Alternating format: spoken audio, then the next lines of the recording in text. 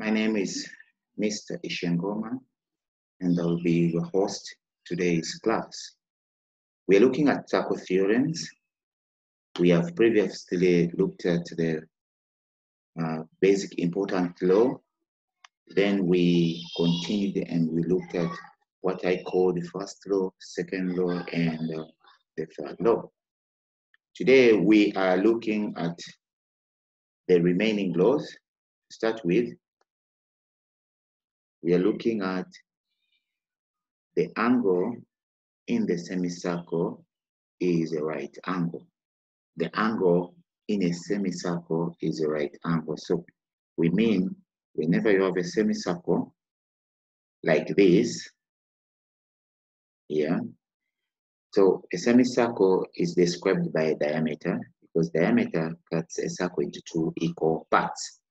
So when you have a semicircle, you can have an angle like that from, the, from this corner and from that corner.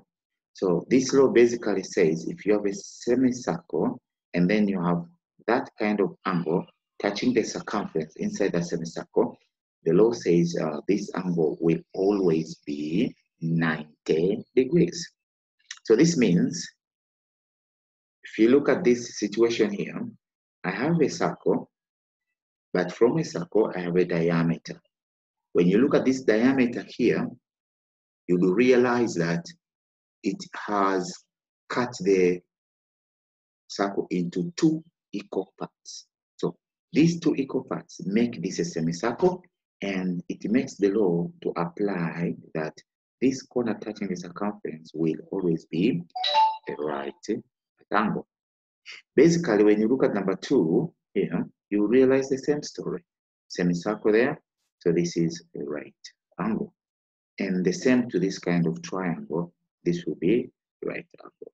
So the law will basically tell us that since this is a triangle and this is a right angle, if I have this angle as a certain value and I have this angle a certain value, this will mean to me that x plus y plus 90, because right angle means 90, will always be equal to 180, given the fact that the interior angle sum of a triangle is 180 degrees. And this furthermore will mean that x plus y is equal to is equal to 90. Why? Because this 90 uh, will reduce the 180 degrees. Example of the questions.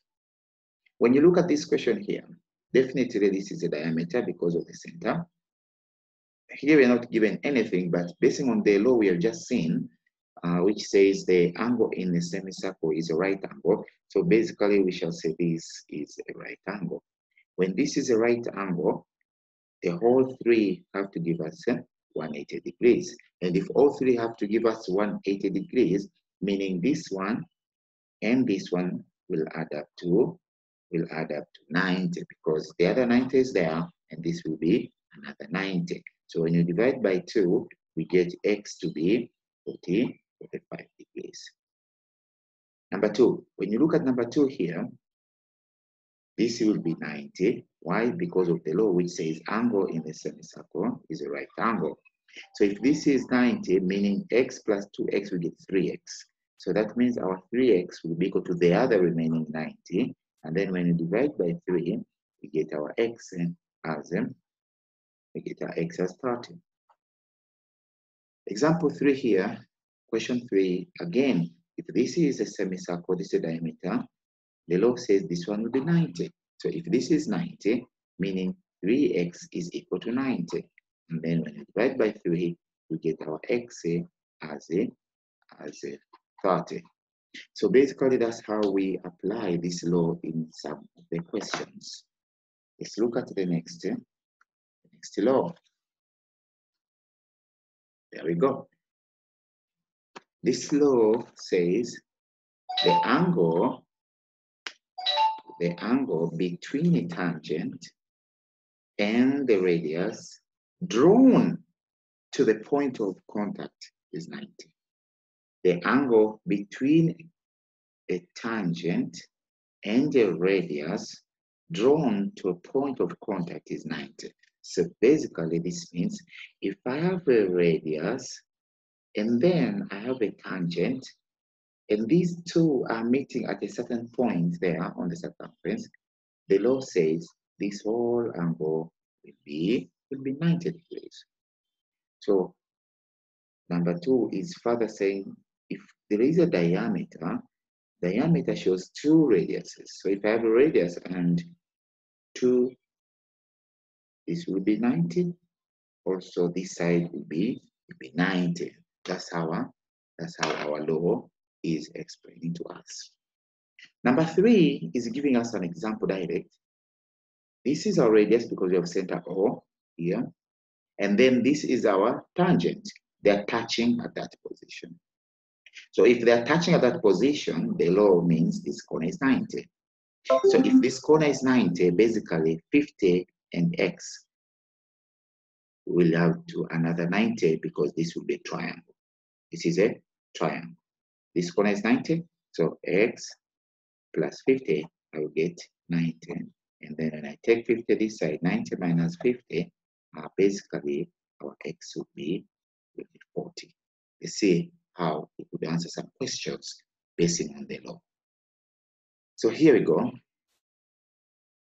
We are given 70, and here we're given x. But the law says radius in contact with tangent, they form 90 degrees.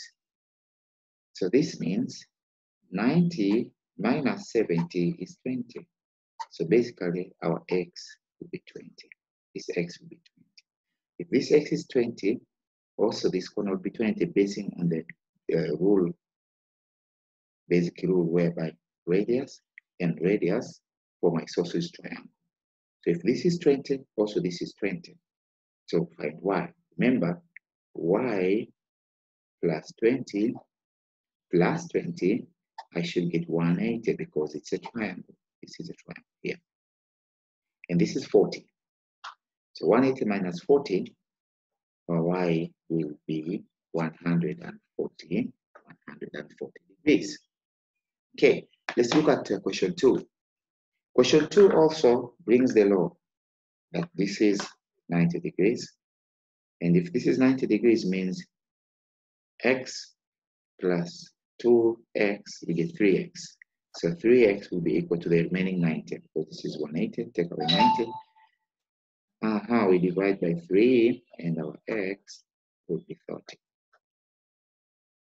If that x is 30, we have the second part here to find y. If you look at the second part for y, you'd realize that also this angle here is 90. Then 70 and y and 90 will make 180. But 180 take away this 90, meaning 70 plus y should give me 90. So y will be 20 because 90 minus 70, you will get, will get 20. Okay, example three. If you check properly here, the basic law, the first law previously we have looked, angle in a semicircle is 90. Angle in a semicircle is 90 because this is diameter. and if that is diameter, you'd realize that this corner, which is not marked here, definitely the, the law says it will be right Now, if this is 60, this will be 30 because 60 and 30 will make the other, the other 90. But now we have a tangent here and we have a radius. Tangent and radius are from 90. So that means 30 plus x, I will get 90. So 30 plus x, I'll get 90. That says that our x will be will be 60 degrees. That is how we can do a bit of the questions to um, practice the law. So now let's go to the next, let's go to the next law. There we go. The next law says, the next law says, from a point outside a circle, from the point outside the circle, just two tangents to the circle may be drawn and they are of equal length. they are of equal length. The law is they will always be equal. The two tangents which are touching outside the circle, they will always be equal length. That is, from the point where they're touching the circle to the point where they're meeting. From the point where they're touching the circle to the point where they're meeting. So basically, from there till here, if this distance is A, and from here till there, if this distance is B, the law says the distance A is always equal to the distance B. The distance A is always equal to the distance C, distance B. So if we are to explain it more here, number two, if you look properly, where these two tangents, they're touching the circle, now I have formed the triangle. Look at where they're touching the circle. But remember, the law says from here till here is equal with from here till there. So this means this line is equal to that line. But by forming a triangle, it means this corner will always be equal to that corner. And that basically tells us this will be like a side, uh, sorry, uh, isosceles triangle. Now, furthermore, explain the first part. Remember previously we said this is radius, radius and tangent before we say they make 90, right? And now also, this is another radius. And then we said radius for 90. So if you look closely, now we have formed a four, a four-sided shape, which is not inside the circle. No, no, no. Here, see, I have marked the four corners, and that is a quadrilateral. And we know a quadrilateral, we looked at this law where n minus 2 times 180, we get the uh, interior angle sum. So interior angle sum of a quadrilateral is 360. So this angle here and this angle here complete the four corners. But this being 90, this being 90, total is 180, right? So if total is 180, you know, 360 is equal to 180 plus 180, we get 360. So if this corner is 180, this plus this is 180. So this tells us that if I have at the center of the circle and a point outside, it means these two also will add to 180 because this is 90 degrees and this one is 90 degrees by the previous law. So meaning this and this, if I call like this one x and this one y, also it means that x and y, x plus y, I should get 180 degrees. Why? Because 180 plus 180, it takes me to 360 since a quadrilateral is 360 degrees. Okay, so let's look at a few examples down here. There we go. So since we said, if we have isosceles, isosceles triangle, since this line is equal to this line, right? It means this angle there is equal to that angle there. So if this is x, so definitely this one will be x. So this will mean x plus x plus 50 is equal to 180 degrees because this is a triangle and interior angle sum of the triangle is 180 degrees. So 2x is equal to 180 minus 50, I get 130. So 130, I'll divide by 2. 130, I divide by 2. So it means my x now will be 60, 65 degrees. So that's how we apply the law. Number two, example number two.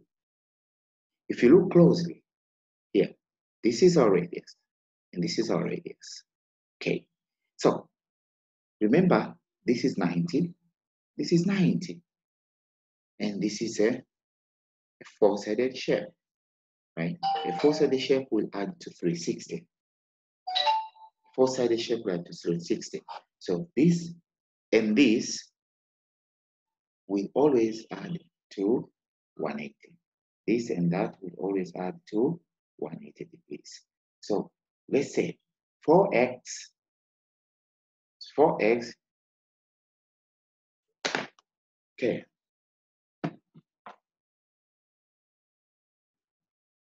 Yes, somebody is raising hands. Let me read your chat. 4x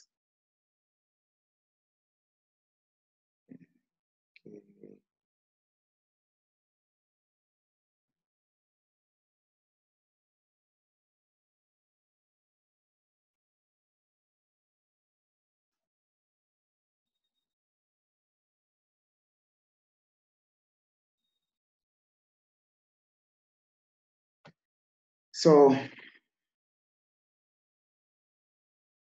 here we go. Okay, so we continue. So this and this here will make 180 degrees. This and this will make uh, 180 degrees. So 4x plus x is equal to 180 degrees. So 5x will be equal to uh, 180, 180 degrees. And then divide by 5, divide by 5, we shall get our x as uh, 36, 36 degrees. So let's look at the final, the final law.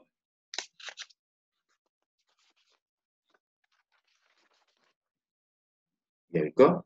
The theory says the alternate segment theory, the alternate segment theory.